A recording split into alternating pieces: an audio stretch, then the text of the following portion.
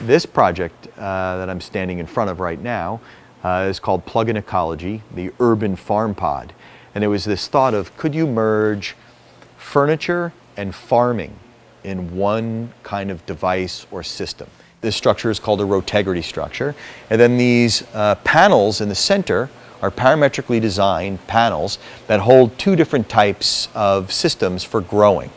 So one is this central planter or a pot for growing more traditional plants, whether it's grasses or tomatoes or what have you. It's double skinned with a wick and a sub-irrigation column. There's nine of them that go from the top to the bottom. So it's gravity-fed water that fits into these pots in the center, gets soaked up, and then get trickles down to the next one, is captured in a cistern at the base, and then is pumped back up to the top again. So you basically pour water in its head, and it'll do the rest. And that takes care of the pots.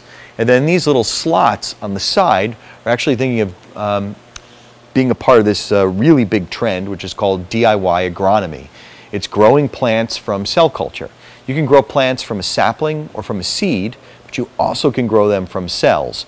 You put the cells inside here, they get uh, with a, uh, depending on what the mixture is, when they get to a certain age, you can take them out and, then seed them inside the plant the planter over there. And the connection to food, we think, for people in cities has been slowly uh, intensifying over the years. People miss the relationship that we used to have growing our own food. So the, the Plug-in Ecology project, this urban farm pod, is for doing just that. It's let's grow your own food, let's do it inside an urban space or on a balcony or on a rooftop or in an urban park and have a relationship to the things that you're making and then eat that food. You can also hang out inside it, which is pretty cool, and be at one with nature and be on your laptop or hang out with two people and have a really quiet, intimate conversation. Uh, you can change the size of these things. They can be four feet in diameter or they can be 15 feet in diameter.